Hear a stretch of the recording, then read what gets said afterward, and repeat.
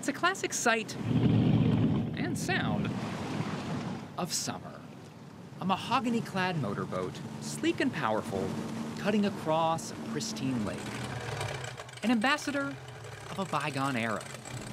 For fans of these elegant craft, it's not about getting from point A to point B. There's a material difference. Your boat is out on the lake, and the lake is surrounded by woods.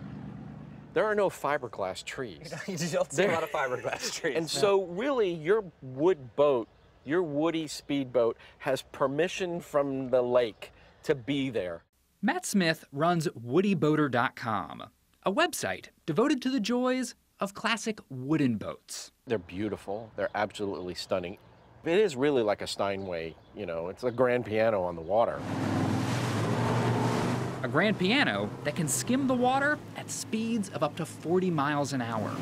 They got the beachside bar that's open here. Across the country, enthusiasts gather at shows to marvel at these wooden works of art that flourished in American waters from the 1920s to the 50s. Thanks for sharing the boat, brother. Hey, no problem. Thanks, guys. It's awesome. But to the boating faithful, this annual gathering in Algonac, Michigan is more of a pilgrimage.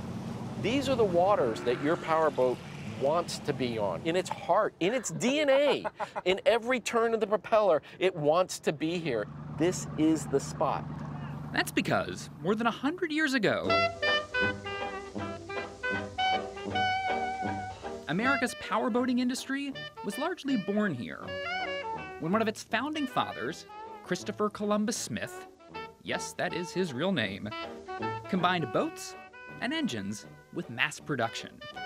His company, eventually named Chris Craft, quickly became synonymous with fast paced fun in the sun. So, in its heyday, how big was Chris Craft? Put it in terms today, I would say it was like the General Motors of the boating industry. Pete Beauregard owns the Algonac Harbor Club on the site of the original Chris Craft plant. So, if Detroit is Motor City, is Algonac Motor Boat City? That's what we call it. Our famous slogan is where it all began. Uh, Algonac to the boating industry is what Henry Ford and Dearborn were to the car industry. With Detroit just 50 miles away, Chris Craft borrowed more than assembly line inspiration from the car industry. It occasionally borrowed parts. This boat has a Ford Mustang steering wheel and horn ring with just the Chris Craft emblem in the center. Oh, right, because Ford was just right down the street. Right down the street, absolutely. But in the 1960s, fiberglass became fashionable, and it brought boatloads of new competitors. To keep up, Chris Craft eventually stopped making wooden boats altogether. So, how fast did this old tub go anyway? A vintage Chris Craft boat got the star treatment in the 1981 film On Golden Pond. All right! Suddenly, there was a renewed interest in getting these beautiful old tubs back out on the water.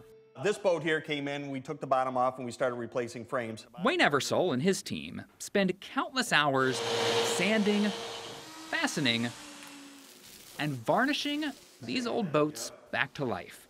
It's that gorgeous sheen, he says, that can be most elusive. Everything has got to be right in the world to get a good varnish job. Your mother-in-law has to be in a good mood. The moon's got to be humidity, heat, dust. Um, you could have a bad varnish job, and who knows why. Eventually, a boat can go from looking like this to something like this. A craft capable of transporting passengers back to another era. When you're out on one of these boats, you're in the time that that boat existed. You are inheriting at that moment all the history that that boat lived. It lives in the wood. It comes out. It, you feel it.